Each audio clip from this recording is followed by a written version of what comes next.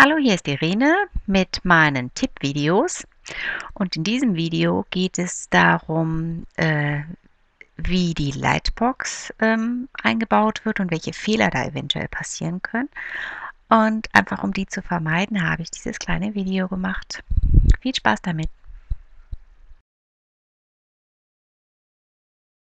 Hallo, hier ist Irene mit einem Tippvideo zum Thema Bilder einfügen.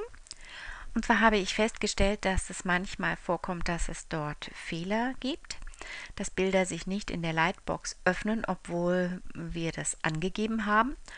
Und ich möchte das jetzt einfach nochmal zeigen, wie man diesen Fehler vermeiden kann. Ich habe hier schon einen Testartikel angelegt. Ich äh, möchte, dass mein Bild am Anfang des Artikels kommt und ich gehe ein Bild einfügen und ich sage diesmal, ich nehme eins, was schon in meiner Mediathek ist. In dem Fall gleich das erste hier, die Wasserlilien. Und dann kommen die hier in meinen Beitrag. Und jetzt sehen wir hier eine URL. Und das ist die URL zum Bild. Wenn hier nichts steht, was leider manchmal vorkommt, aus welchen Gründen auch immer, dann funktioniert auch die Lightbox nicht, weil dann zum Bild nirgendwohin verlinkt worden ist. Und um das zu vermeiden, immer darauf achten, ist hier eine URL drin. Wenn nicht, nochmal kurz hier auf diesen Button klicken. Spätestens dann ist diese URL hier eingefügt. Dann, wie gehabt beim Bilder einfügen, die entsprechende Größe wählen und in den Artikel einfügen.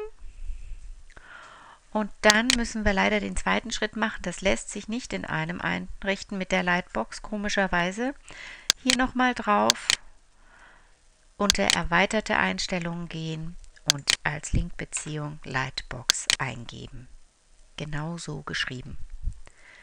Auf Aktualisieren gehen und das Ganze funktioniert. Ich gehe jetzt mal auf Vorschau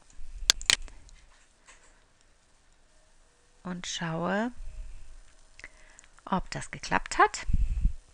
Das Bild ist schon mal da und die Lightbox geht auf. Das war ein kleiner Tipp, wie wir vermeiden können, dass äh, die Lightbox sich nicht öffnet, wenn wir ein Vorschaubild eingefügt haben. Ich hoffe, dieser Tipp hat weitergeholfen. Bis zum nächsten Mal, eure Irene.